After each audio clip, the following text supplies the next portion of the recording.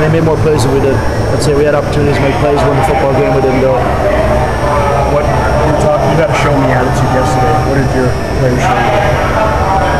Uh, we got limited mistakes, and we have an opportunity to make plays. We got to make them. We got to coach them better. Uh, we got to continue to put our guys in position to be successful, and really focus in now after this game on figuring out what our what our guys individually do well, what they don't do well.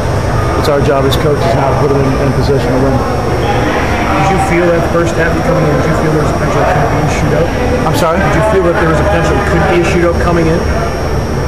I don't, you know, I don't, I don't think about that. It's trying, trying to execute. Did you have a chance to have a look at that final play? Was there contact there on Andy in that in that final play? play before should have been a touchdown. The game over the play before. I'm not worried about the last play. We got to make, we got to, we got to make the play on the play before. We could, we could have called in the end zone on that. Were there, were there a couple of plays? That one and the interception by Hines that in the end zone. A couple of plays We had there. plenty of opportunities to make other plays.